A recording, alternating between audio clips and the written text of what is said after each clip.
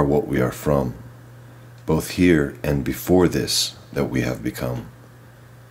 The essence of our nature and the origin are one.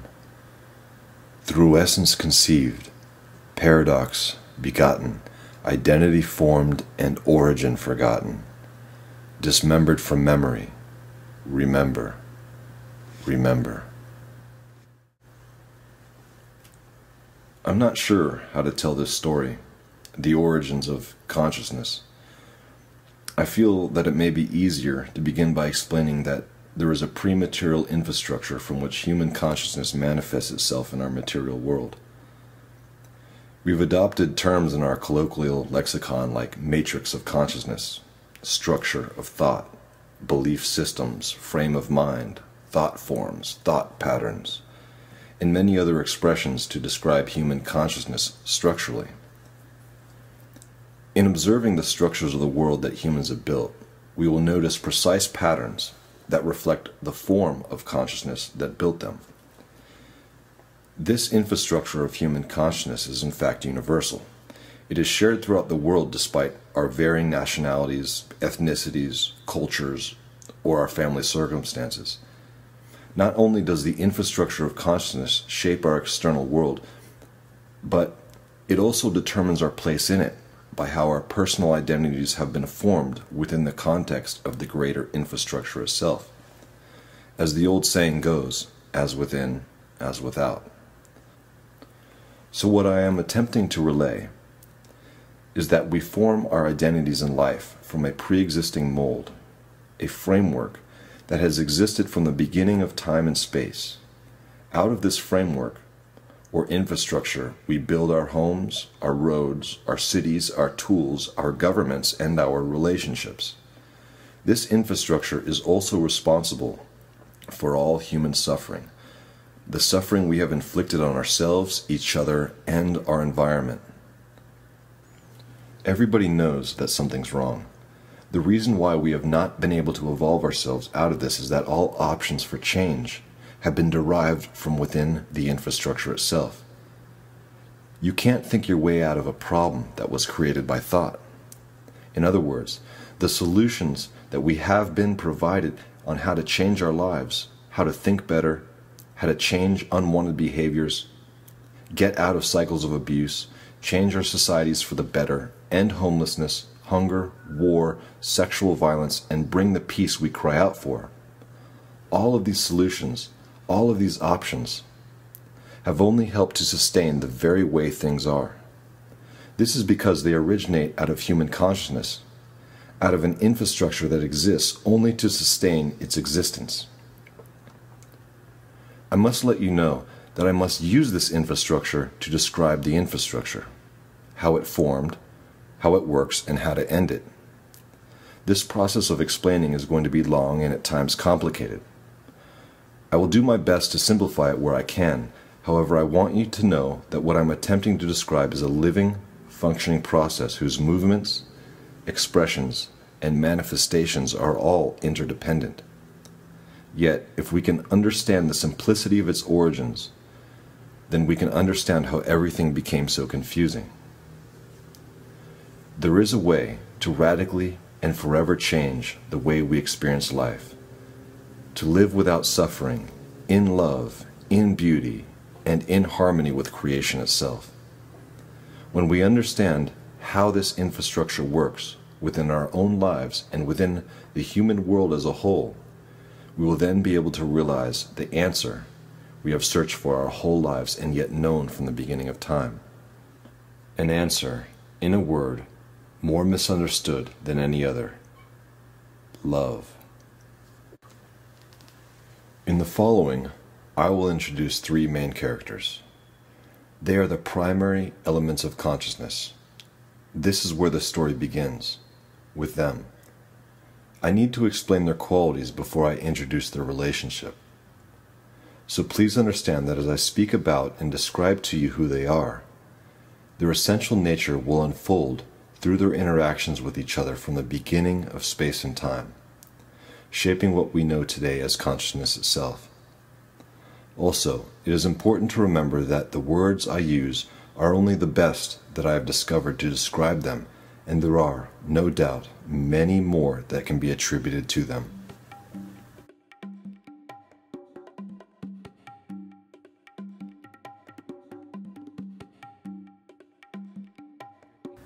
Shaped from breath and tongue, spoken, shouted, cried, and sung, dressed for the occasion, words are strung in unison.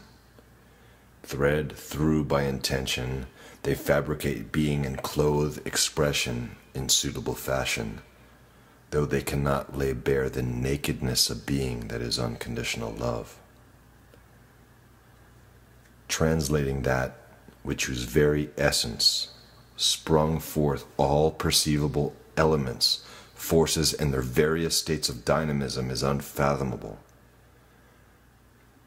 The problem is not allotted to language alone, with its innate inadequacies, its inability to reflect the essence of experience, without the inevitable conflicts that arise when you are mediated and represented poorly by an incompetent ambassador.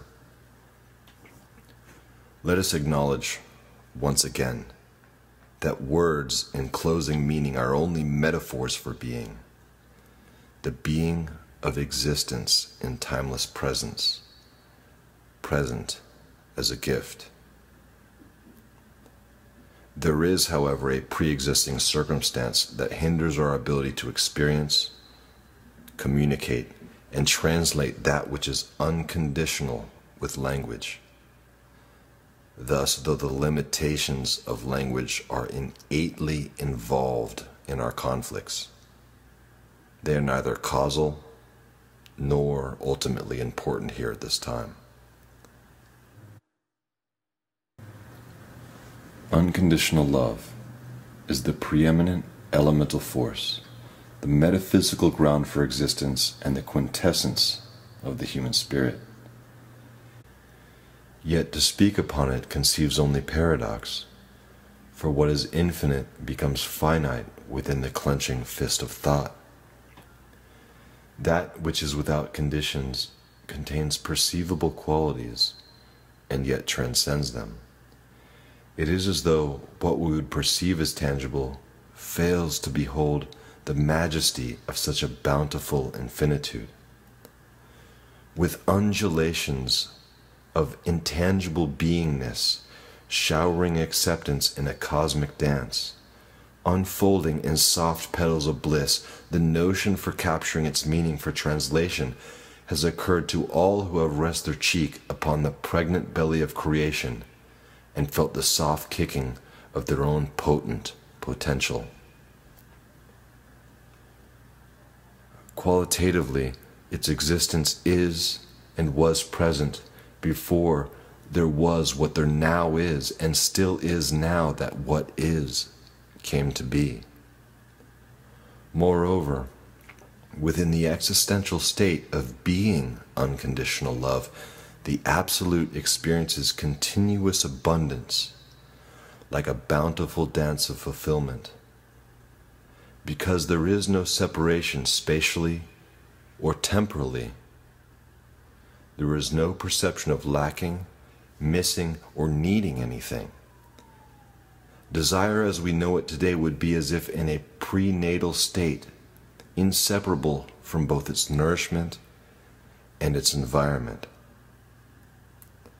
Therefore, before desire could perceive a need, it exists as undifferentiated potential in a fluid state of unconditional acceptance, negating any primordial need for fulfillment or emergence.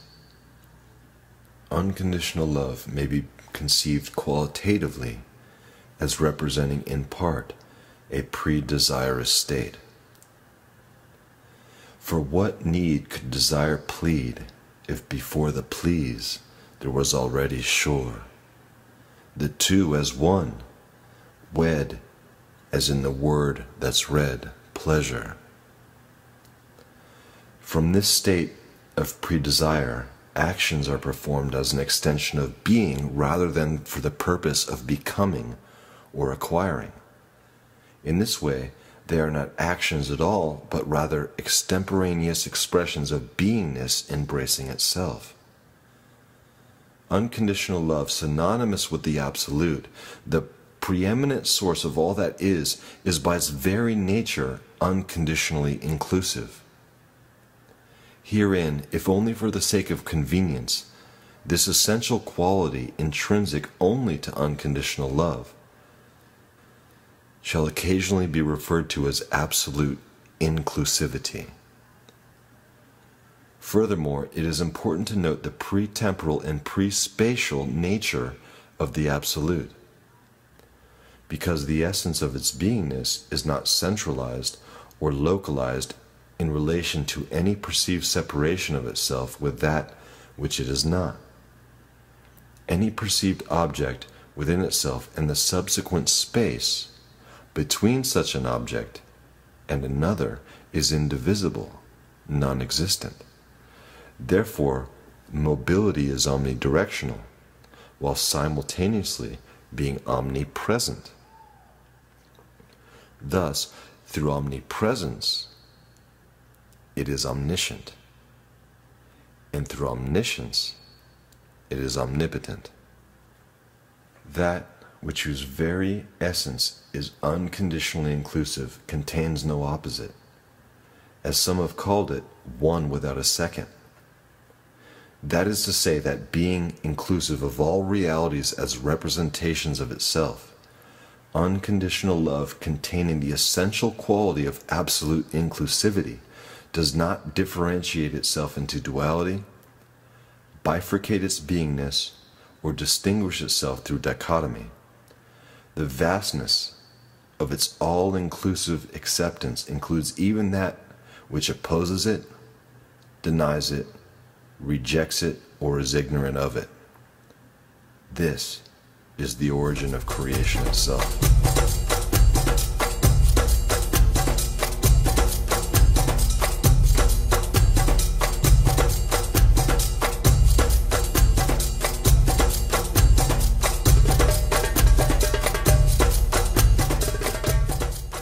There are two types of spatial experience we all share. The first is the physical space of our earthly existence, and within it we have physical time.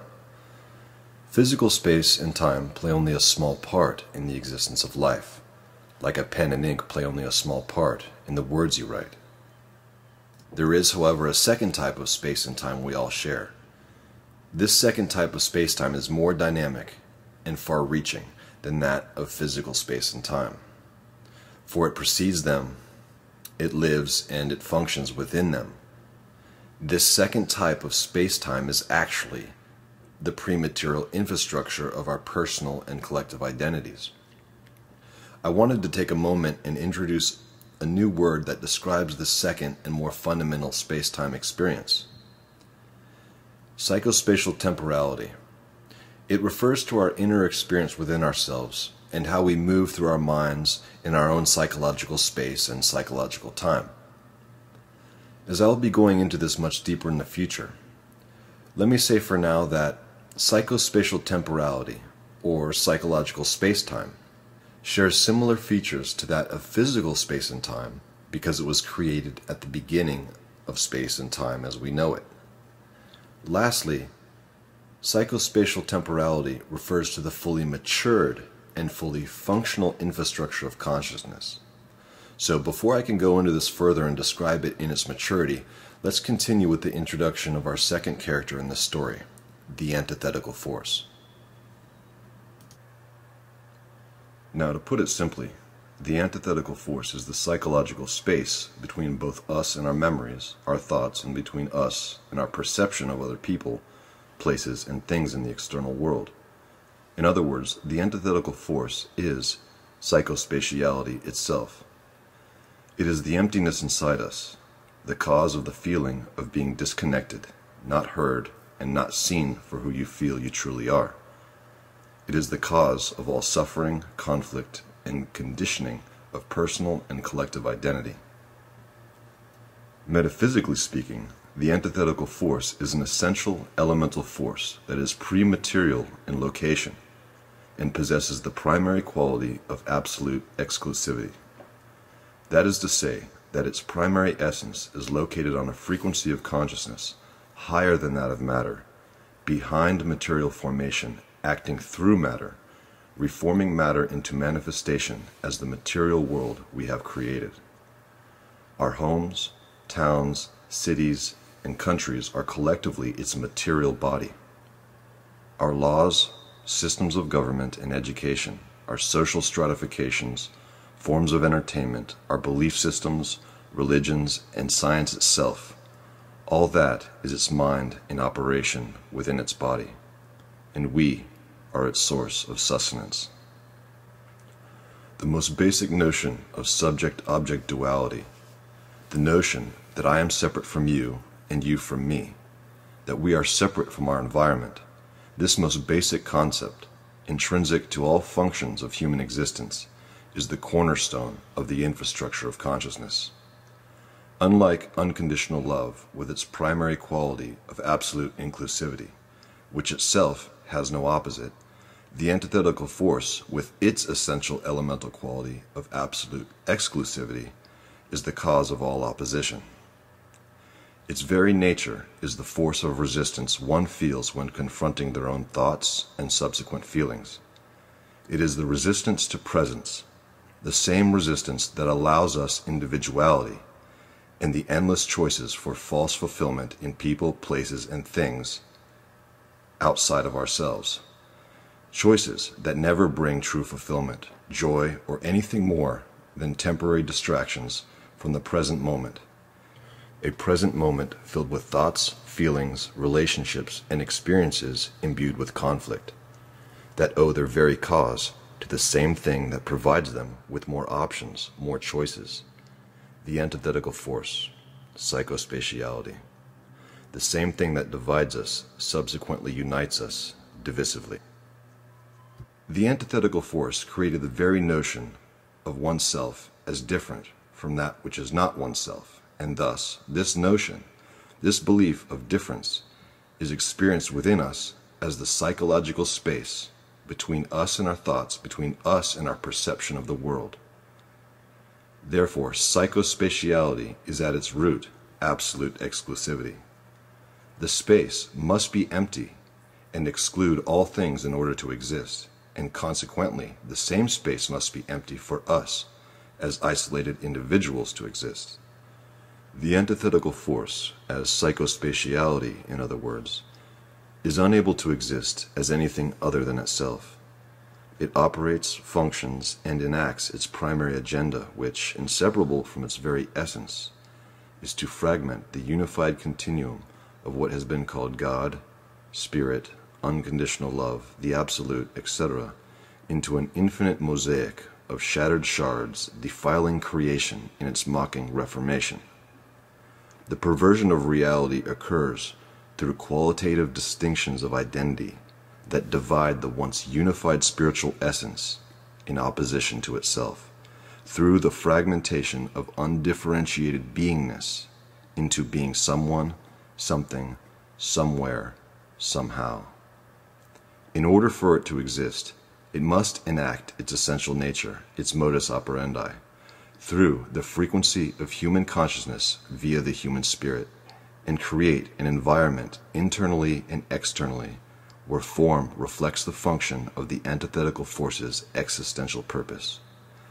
Therefore, it is responsible for the form and function of energetic dynamics in all human relations, including organized social structures, institutions, our utilities and tools, the human habitats we build by them, and the belief systems that operate within them.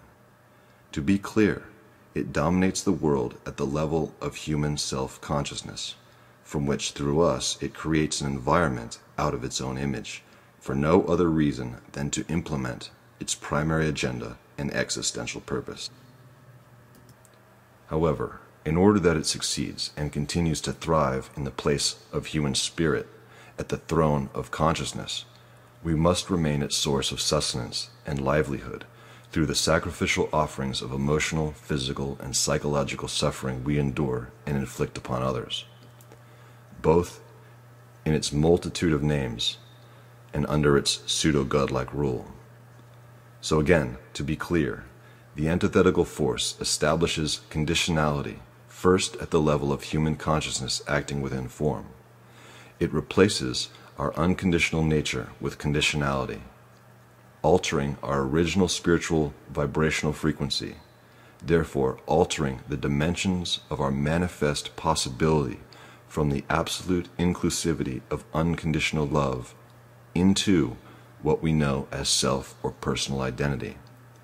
Once establishing itself upon the throne of human consciousness, it sets about creating a distinct identity within the human form it occupies. Simultaneously, while creating self ideation, self concept, and identity as an individual, the antithetical force is shaping the individual to serve as a functioning unit within the medium of its own essence, within the world it shaped, the world we know collectively as humanity.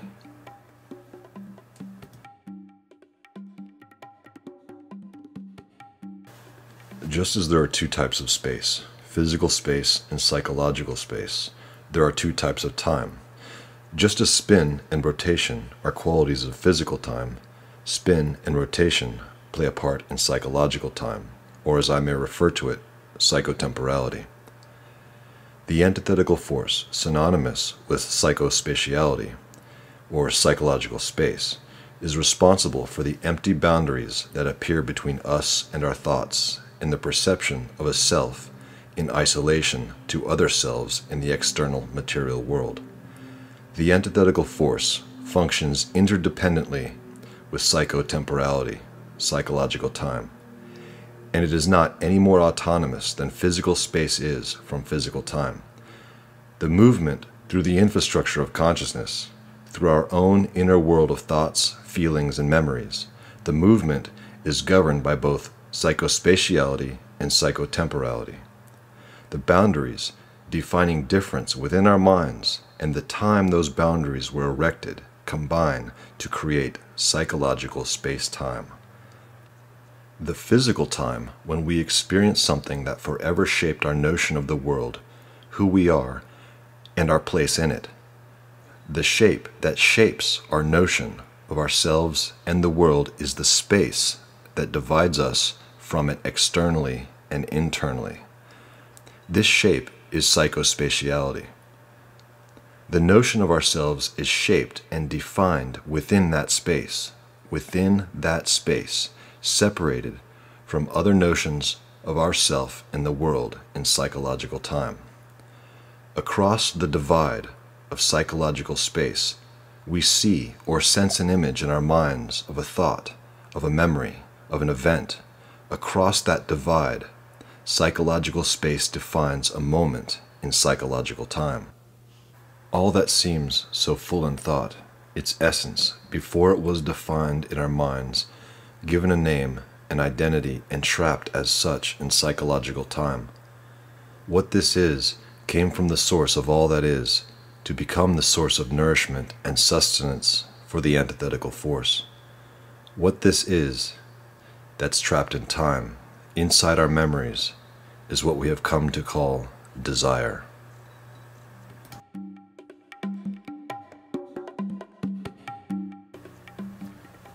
Next to love, the second most misunderstood experience is desire. The book World Scripture, a comparative anthology of sacred texts, by the International Religious Foundation, copyright 1991, and published by Paragon House Publishers, states Every major religion recognizes that suffering and evil are caused by excessive desires and desires directed towards a selfish purpose. And yet I contend that every major religion is wrong. Desire has received the lion's share of blame and responsibility for the suffering of humanity from farther back in time than most can remember. It is not desire, but that which directs desire. It is not desire, but that which defines it, and its options, its choices, its avenues for fulfillment. That which conditions the essence of desire to seek that which only denies it what it really wants, what it really needs. It is that which, in so defining it, cuts it off from its origin and trains it to want things that only help redefine the boundaries of its own identity, giving life to the limitations, to the boundaries, and the space between all things and itself, thus, then wanting what is outside of itself. The essence and the origin of all desire is unconditional love. In fact, desire is unconditional love trapped within the spatial confines of identity, within psycho temporality, surrounded by the emptiness of psychospatiality trapped in time, isolated and surrounded by the empty spaces within our minds. The essence of all thought is desire. The impetus for all actions is desire. All the suffering that has been attributed to desire has made desire appear as the attributes that define desire. The attributes that lay blame upon desire and demand its limitation are sustained by the expression of desire's perversion as it acts out within the confines of the limitations set forth by the attributes themselves. In other words, it has never been desire that has caused us all this suffering. It has been that which programmed desire to seek fulfillment in that which will only justify the need to limit desire and justify the judgments upon it by having desire programmed to run through a maze like a rat after cheese a maze in our minds whose path has been defined by the walls of identity and the spaces in between. This is the function of the antithetical force to entrap unconditional love within the isolation of identity, thus transforming unconditional love into desire and directing desire towards choices for fulfillment that justify, sustain, and support the infrastructure of consciousness the body of the antithetical force.